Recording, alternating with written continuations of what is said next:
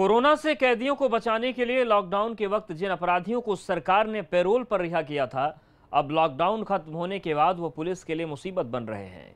इन अपराधियों को दोबारा गिरफ़्तार करने के लिए अब पुलिस फिर से अभियान चला रही है, जिसका नाम रखा गया है ऑपरेशन पाताल।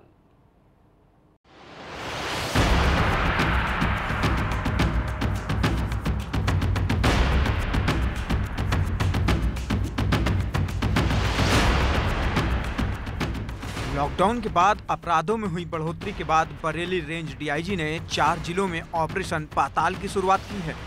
दरअसल कोरोना काल में पेरोल पर बहुत से अपराधी बाहर घूम रहे हैं, जो अब पुलिस के लिए मुसीबत बनते जा रहे हैं।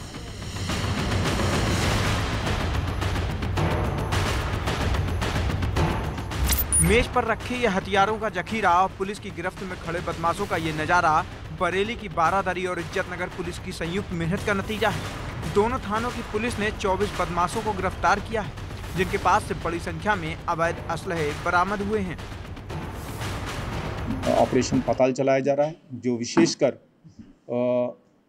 अवैध असलहे और इनके सप्लायर्स इनके मैन्युफैक्चरिंग के जो अड्डे हैं, उन सबको टारगेट करके अभियान चलाया गया है, जिसमें पूर्व के जो भी अपराधी अवैध असलहे से अपराधों को कारित किए हैं उनको टारगेट करके ये अभियान पुलिस टीम द्वारा चलाया गया है। ये तस्वीरें नोएडा ज़िले की हैं। ई रिक्शा लूट कर भाग रहे बदमाशों के बारे में पुलिस को जानकारी मिली थी जिसके बाद फ़ेज़ टू पुलिस ने घेराबंदी कर भाग रहे बदमाशों को रोकने की कोशिश की। लेकिन भागने की फिराक में बदमाशों ने पुलिस टीम पर फायरिंग कर दी जिसके बाद पुलिस ने जवाबी फायरिंग की जिसमें दो बदमाश घायल हुए हैं जिन्हें इलाज के बाद गिरफ़्तार कर लिया गया है। आज थाना फ़ेज़ टू क्षेत्र में यकूबपुर के पास एक होटल है, पाल होटल। उसके पास दो लोग जो ई रिक्शा में सवार हुए, उन्होंने ई रिक्शा को लूटा। मौके पर सवार जो पीआरबी थी, उसने उसका तत्काल पीछा किया और चौकी इंचार्ज को खबर करी। सेक्टर अट्ठासी में इनके साथ जाके मुठभेड़ हुई, जिसमें दो लोगों को गोली लगी। एनकाउंटर की एक और तस्वीर बस्ती ज़िले से सामने आई है। यहाँ पर पुलिस ने पिछले दिनों हुए सॉफ्टवेयर इंजीनियर हत्याकांड के आरोपी को गिरफ़्तार किया है।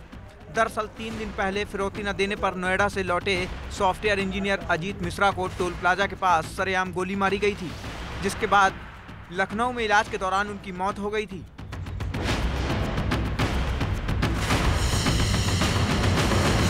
इस हत्याकांड को लेकर पुलिस लगातार आरोपी की तलाश कर रही थी। सुबह छावनी थाना क्षेत्र में राम रेखा नदी के पास इनामी बदमाश के छिपे होने की जानकारी मिली। पुलिस टीम मौके पर पहुँची और घेरेबंदी की। इस दौरान आरोपी ने पुलिस टीम पर फायरिंग की और फिर मुठभेड़ के दौरान पकड़ा गया। पुलिस ने पच्चीस हज़ार के इनामी बदमाश शिवा पाठक बाहुबली को गिरफ़्तार किया है। प्रतापगढ़ और अमेठी बॉर्डर पे वहाँ कुछ बदमाशों के द्वारा लूटपाट की शिकायतें आती रहती थी और मंडी के लिए जो लोग जाते हैं, उनके साथ लूटपाट करते थे। तो आज इनको सूचना मिली हुई थी कि कुछ इस तरह की घटनाएँ होती रहती हैं। तो ये आज गए हुए थे, सुबह इनकी मुठभेड़ हुई है, इसमें एक बदमाश दिनेश प्रताप नाम है। थाना कंधई जनपद प्रतापगढ़ का रहने वाला है, जिसपे जो अपराधी हैं एच एस भी है वहाँ का, और इस पे जनपद, कई जनपदों से वांछित भी है। सुल्तानपुर पुलिस ने भी बीती रात एनकाउंटर में सातिर बदमाशों को गिरफ़्तार करने में कामयाबी हासिल की है। जानकारी के मुताबिक देहात कोतवाली में नहर के पास आए दिन लूट की वारदातों को अंजाम दिया जा रहा था। जिसको रोकना जिला पुलिस के लिए चुनौती बना हुआ था, जिसको लेकर पुलिस लगातार कोशिश कर रही थी। मुखबिर की सूचना पर पुलिस ने ज़िले के बड़े हिस्ट्री सीटर को मुठभेड़ में गिरफ़्तार किया है। चौकड़ी यहाँ पे घटना हुई थी। गोली मार दी गई थी। कुछ अज्ञात बदमाशों के द्वारा, जिनकी बाद में पहचान उनके द्वारा की गई जिसमें चार लोगों के खिलाफ मुकदमा लिखा गया था। नामजद शिवा उर्फ़ बाहुबली पाठक, एक सनी रावत और अंकुर मिश्र और ये अंकुर पांडे। शिवा पाठक किसी और व्यक्ति से रंगदारी मांगने जा रहा है और इसी की सूचना पे एसओजी टीम और थाना कप्तान की टीम और थाना छावनी की जो टीम है, ये इन्होंने घेराबंदी की और उसी घेराबंदी में कुछ किया उसको चेक किया गया तो उसके बाद में बदमाशों के द्वारा जो हमारी टीम है, उसके ऊपर फायर किया गया। इसी में सिवा उर्फ़ बाहुबली पाठक है, इनके पैर में गोली लगी है। पुलिस और बदमाशों के बीच मुठभेड़ जारी है। यूपी पुलिस लगातार एनकाउंटर के ज़रिए बदमाशों को सलाखों के पीछे पहुँचाने की कोशिश में जुटी हुई है। Bureau report, ABP Ganga. प्रदेश की पुलिस बेशक क्राइम कंट्रोल के लाख दावे करे, लेकिन सूबे की राजधानी लखनऊ में भी अब बेखौफ बदमाश दस्तक दे रहे हैं। इन बदमाशों ने दिन दहाड़े डकैती की वारदात को अंजाम देकर राजधानी पुलिस के लिए सीधे चुनौती दे दी है।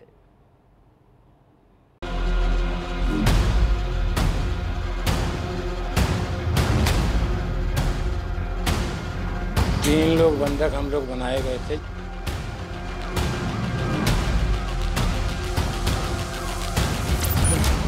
पुलिस की चहलकदमी और हैरान, परेशान लोगों की ये तस्वीरें। राजधानी लखनऊ से सामने आई। हक्के बक्के खड़े ये लोग। कुछ वक्त पहले ही दहशत के चंगुल से छूटे हैं। बड़ी मुश्किलों से इनकी जान बची है। राजधानी में दिन दहाड़े डकैती।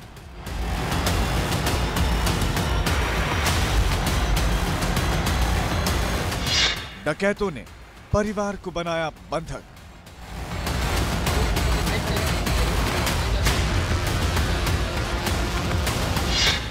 बंधक बनाने के बाद जमकर की लूटपाट।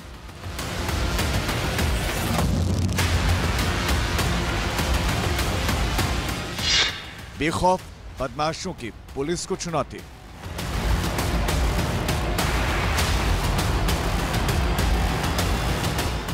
तस्वीरों में दिख रहे इन चेहरों की हवाइयाँ उड़ी हुई हैं। कुछ वक्त पहले तक तो इन्हें भरोसा ही नहीं था कि इनकी ज़िंदगी बच गई है। क्योंकि दहशत का जो नंगा नाच इन्होंने अपनी आँखों से देखा है, वो किसी को भी खौफ ज़्यादा कर सकता है।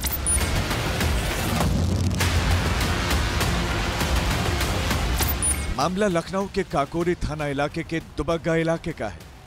ये घर सचिवालय से रिटायर्ड कर्मचारी हरकिशन का है। आरोप है कि पाँच नकाबपोश बदमाश इनके घर में घुस आए और सभी को हथियारों के बल पर बंधक बना लिया। बंधक बनाने के बाद बदमाशों ने सभी को घर के पिछले कमरे में कैद कर दिया और पूरे घर में जमकर लूटपाट की। इस दौरान वो घर के सभी बेशकीमती जेवर और सामान लूट ले गए। तीन लोग बंधक हम लोग बनाए गए थे जो हम लोग घर में थे उस समय। और लूट में पाँच लोगों ने पाँच लोगों को देखा था हमने। हाँ, उनमें से कितने लोगों के पास असलाह था?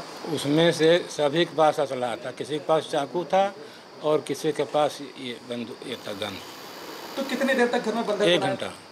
और का, जब लूट हो रही थी तो लूट के बाद कितने क्या क्या कुछ सामान लेकर गए थे और पुलिस को कितनी देर बाद सूचना दी गई? नहीं नहीं नकदी ले गए थे ज्वेलरी ले गए। हैं पीड़ितों के मुताबिक उनके घर में बदमाशों का तांडव करीब एक घंटे तक चलता रहा। पूरा घर एक घंटे दहशत में बीतने को मजबूर था। बदमाशों के हाथों में हथियार थे, जो परिवार की जरा सी हरकत में भी उन्हें खतरे में डाल सकते थे। लिहाजा परिवार बदमाशों के जाने तक का इंतज़ार करता रहा।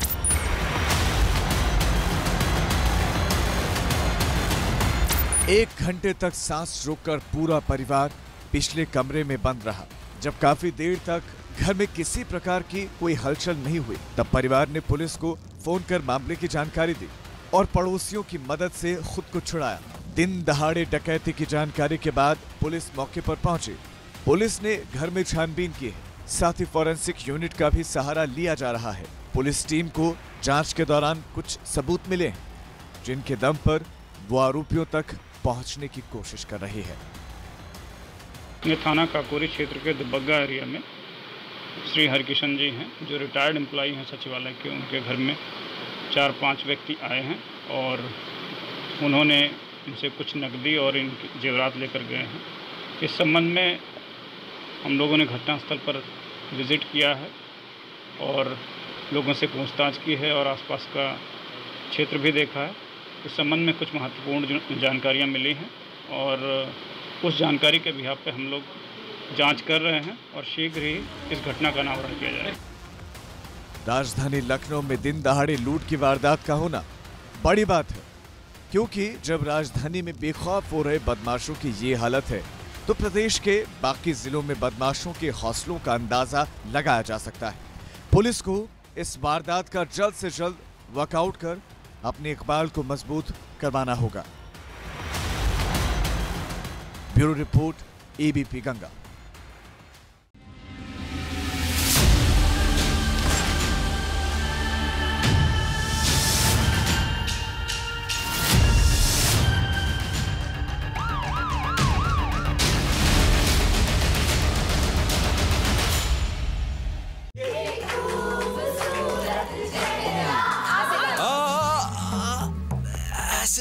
नींबू पानी लेगा। अरे कोई अजवाइन लाओ। अरे ये सब छोड़ो। इनो लो।